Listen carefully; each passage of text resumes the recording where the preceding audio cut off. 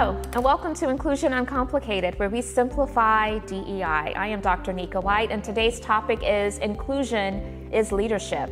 Start treating inclusion as a leadership function.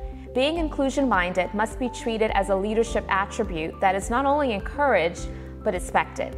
This means that organizations must stop treating the work of DEI as the sole responsibility of the diversity officer, but rather as a mandate for every person in the organization.